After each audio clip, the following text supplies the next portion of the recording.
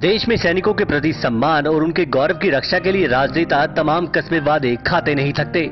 लेकिन उनके वादों से हटकर असली और सहाय स्थिति आपको ग्राउंड पर मिलेगी। जी हाँ ये है संजू जोगेंद्र नगर विधानसभा के जहला गाँव के रहने वाले संजू सेना में अपनी सेवाएँ दे चुके हैं। दुश्मनों से लोहा लेते वक्त उन्होंने बारूदी सुरंग में अपनी दोनों टांगे गंवा दी। शुरू से इनकी बहादुरी को सभी ने सलाम किया और नेताओं ने भी कई वादे किए।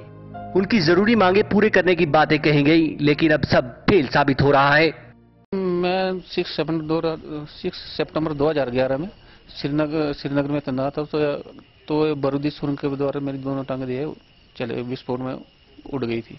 एक साल में विधायक से भी मिला, और जो हमारे संसद एमपी है, उनसे भी मिला।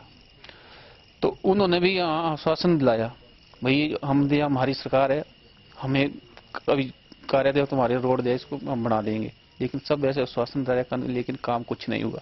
संजू की मांग सिर्फ़ अपने घर तक 6 किलोमीटर सड़क बनाने की है लेकिन यहाँ महज 600 मीटर सड़क बनाकर खाना पूर्ति कर दी गई। इन्होंने तमाम अधिकारियों और नेताओं से गुहार लगाई भूले बिसरे वादों की याद दिलाई देश के लिए अपनी टांगे गंवाने की दुहाई भी दी। लेकिन असंवेदनशीलता की मोटी खाल ओढ़े अफसरशाही को भला इनकी फ़िक्र कहाँ होगी? छह साल में करीबन इन्होंने 600 मीटर तक सड़क बना पाए। हमारा पीडब्ल्यू भाग है भैया, हमारे ये है तो उन्होंने, उनका कहना क्या है, भाई, हमारे बजट में अभी पैसा नहीं है। जब मार्केट जाना पड़ता है तो किसी का सहारा लेके जाना पड़ता है। अपनी जो आर्टिफिशियल टांगे लगा के और किसी का सहारा लेके मार्केट जाना पड़ता है। तो गाँव से तो मैं जा नहीं पा रहा हूँ, क्योंकि छह, सात साल हो गए। गाँव में जाने का कोई साधन नहीं है हमारा। संजू, अब आर्टिफिशियल टांगों के ज़रिए थोड़ा दूर चल पाते हैं। लेकिन अगर उनकी तबीयत खराब हो जाए तो उन्हें इलाज के लिए पालकी के ज़रिए 6 किलोमीटर दूर सड़क पर लाया जाता है। संजू सरकार के इस रवैये से बेहद आहत हैं। ज़ाहिर है, ये दास्तान देखने के बाद आप भी आहत हुए होंगे और वाकई में समझ सके होंगे कि सेना के नाम पर जिस तरह राजनेता हम और आपको इमोशनल बनाते हैं।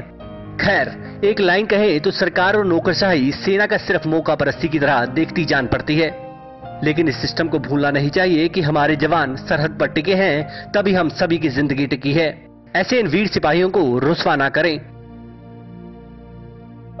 धर्मशाला से मृत्युंजय पुरी समाचार फ़र्स्ट।